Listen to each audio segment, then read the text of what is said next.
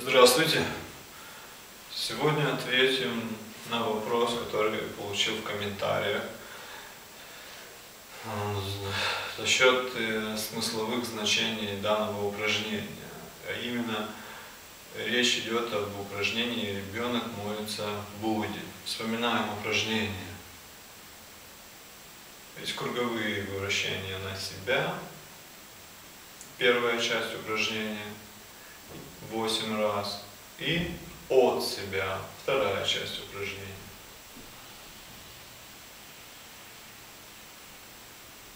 Данное упражнение имеет три, три смысловых уровня. Физическое, энергетическое и информационное.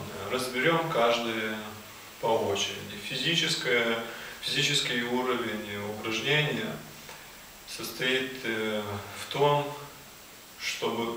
укрепить суставы кистей рук, локтевые суставы и плечевые суставы.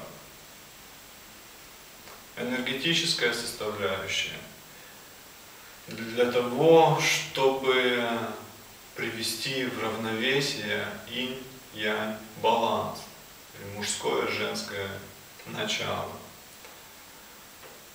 Если данная, если разница инь-ян энергии очень велика, то в момент выполнения упражнения можно почувствовать, как э, перетекает энергия с одной руки в другую, или там в зависимости от направления, да.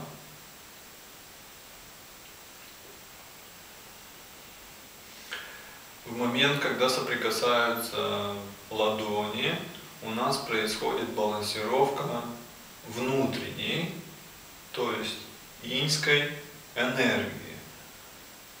И также, если в момент соприкасания тыльных сторон происходит балансировка внешней, то есть янской энергии, составляющей, да?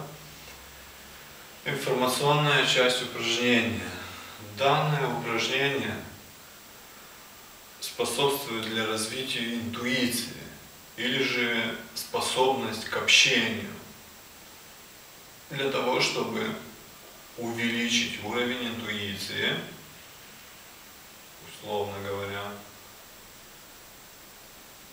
при выполнении данного упражнения надо представить духовного учителя в огромных размерах, светящимся. Или же Бога, в которого мы верим, также огромных размеров и светящийся. Нас представляем такими, таким размером, светящимся, ну и, конечно же, уникальным.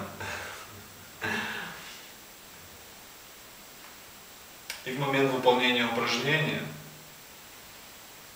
ведет к себе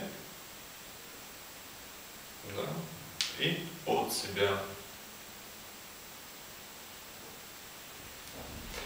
При этом соблюдается закон мироздания о сохранении энергии.